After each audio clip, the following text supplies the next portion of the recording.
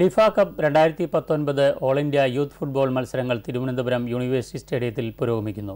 വാശിയേറിയ under fourteen under fifteen മത്സരത്തിൽ ലിഫ ട്രിവാൻഡ്രത്തിന് പി എഫ് എ മലപ്പുറത്തിനെതിരെ രാജകീയ വിജയം.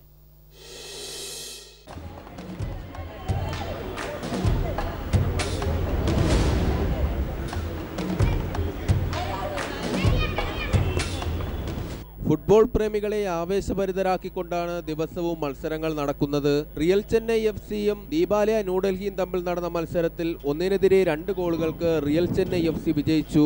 അടുത്ത മത്സരത്തിൽ Parappur F A Thrissur Dynamos F A മലപ്പുറത്തിനെതിരെ മൂന്നേ പൂജ്യത്തിന് ജേതാക്കളായി. ലിഫ കപ്പിലെ ശ്രദ്ധേയമായ മത്സരം ലിഫ ട്രിവാൻഡ്രവും മലപ്പുറവും തമ്മിലായിരുന്നു. മത്സരത്തിൽ എല്ലാ ഘട്ടത്തിലും മേധാവിത്വം പുലർത്താൻ ലിഫ ട്രിവാൻഡ്രത്തിന് കഴിഞ്ഞു. ആറ് തവണയാണ് ലിഫ ട്രിവാൻഡ്രം മലപ്പുറത്തിന്റെ വല കുലുക്കിയത് തിരുവനന്തപുരം ലത്തീൻ അതിരൂപത സംഘടിപ്പിക്കുന്ന ലിഫ കപ്പ് ഇന്ത്യൻ ഫുട്ബോളിന്റെ ഭാവി താരങ്ങളെ കണ്ടെത്താനാണ്. ജീവൻ ന്യൂസ് തിരുവനന്തപുരം.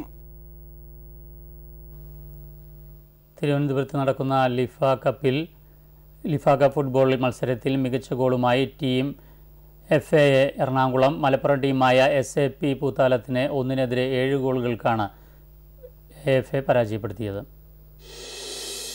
ആവേശകരമായ മത്സരമായിരുന്നു മൂന്നാം ദിനം എഫ് എഫ് എ എറണാകുളവും എസ് എ പി പൂത്താലവും തമ്മിൽ നടന്നത്. എഫ് എഫ് എ എറണാകുളത്തിന് വേണ്ടി മൂന്ന് ഗോളുകൾ നേടിക്കൊടുത്ത മിഥുൻ ലാൽ മത്സരത്തിൽ മാൻ ഓഫ് ദി മാച്ചായി തെരഞ്ഞെടുക്കപ്പെട്ടു.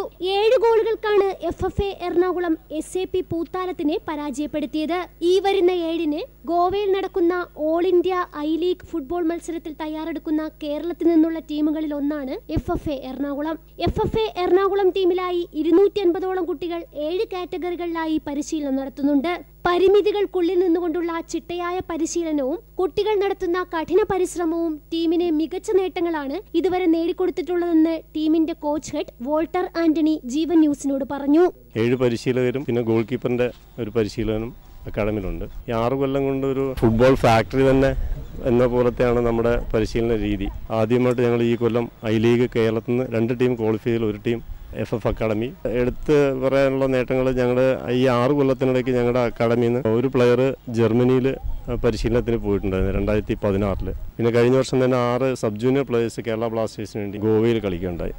എഫ് എഫ് എ എറണാകുളം ടീമിലെ സാരിസ് അലിയും ടീമിലെ മികച്ച കളിക്കാരിൽ ഒരാളാണ്. എറണാകുളത്ത് നടന്ന ഐ ലീഗ് ക്വാളിഫയിംഗ് റൗണ്ടിൽ കേരള ബ്ലാസ്റ്റേഴ്സ് ഉൾപ്പെടെ മൂന്ന് ടീമുകളെ പരാജയപ്പെടുത്തിയതിൽ എടുത്തു പറയേണ്ടത് സാരിസ് അലിയുടെ പ്രകടനമായിരുന്നു. ക്വാളിഫയിംഗ് റൗണ്ടിൽ സാരിസ് അലി മാത്രം ടീമിന് നേടിക്കൊടുത്തത് എട്ട് ഗോളുകളാണ്. ജീവ ന്യൂസ് തിരുവനന്തപുരം.